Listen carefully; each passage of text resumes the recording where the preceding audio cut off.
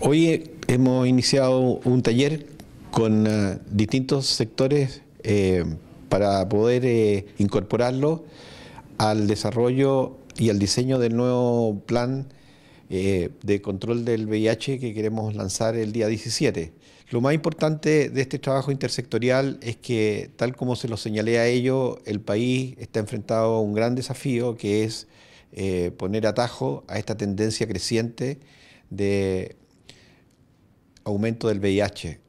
El principal desafío es tener una respuesta país a esta situación y precisamente esta reunión se enmarca dentro del, del plan que el ministro eh, ha solicitado y que incluye como principios fundamentales eh, que sea un plan participativo, intersectorial, eh, eh, elaborado en conjunto, no solo con el intrasector, con el intersector, con la sociedad civil, con los colegios profesionales, el tema VIH pase a ser una conciencia país y que la respuesta nos permita revertir estas cifras, más allá de quedarnos mirando las cifras, lo que el ministro quiere es eh, darle eh, un, un, un, quiebre a esta tendencia. El sector salud, solo frente a esta patología que tiene múltiples factores, ¿cierto? demasiadas dimensiones, no lo puede hacer solo.